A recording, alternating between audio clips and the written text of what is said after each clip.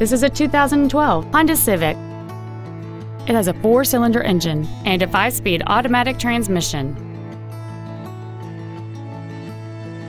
Features include a low tire pressure indicator, air conditioning, cruise control, dual airbags, three-point rear seatbelts, a folding rear seat, full power accessories, a rear window defroster, a security system, and this vehicle has fewer than 32,000 miles on the odometer. With an EPA estimated rating of 39 miles per gallon on the highway, this automobile is clearly a fuel-efficient choice. Stop by today and test drive this automobile for yourself.